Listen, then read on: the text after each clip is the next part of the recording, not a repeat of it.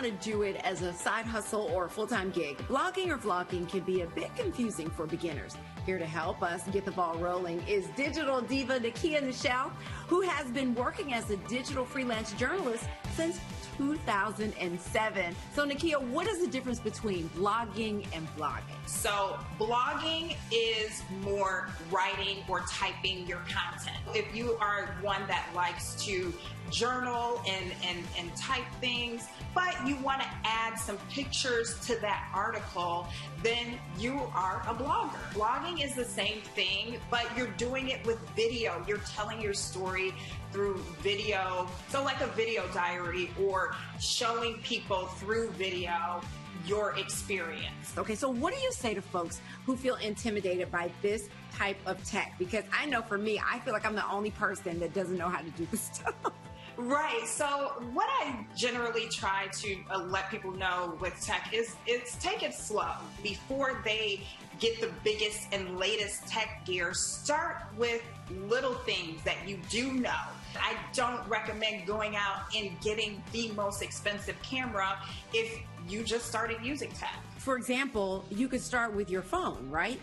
Absolutely. So it's something that you use every day, so you know how the camera works, how the video works on that.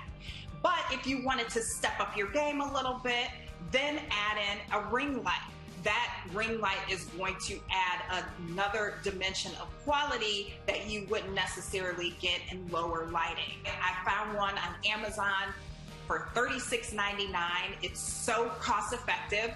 It, ha- it comes with the stand. It comes with different lighting options. Ooh. Also, a selfie stick is really good for those moments where you want to take pictures of yourself.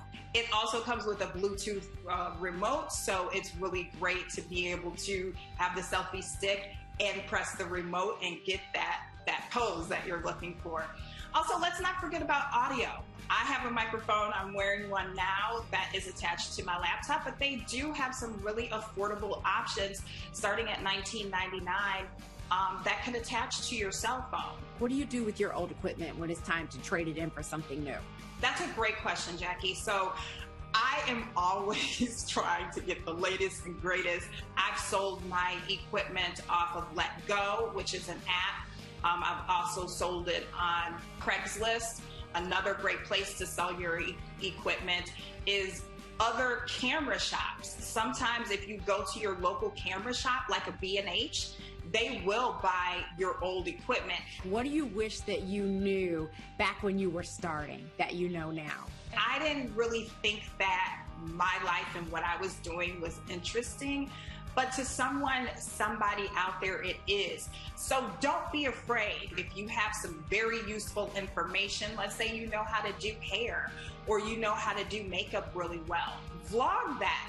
That type of material can generate so much income on YouTube. And Nekia, if folks want details on the advice that you gave us here or all that you're doing, where can they go?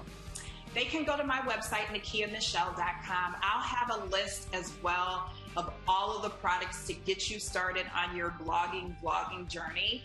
And I have some really great tech tips. I'm the digital diva, so keep up with me. all right. Thanks, Nekia.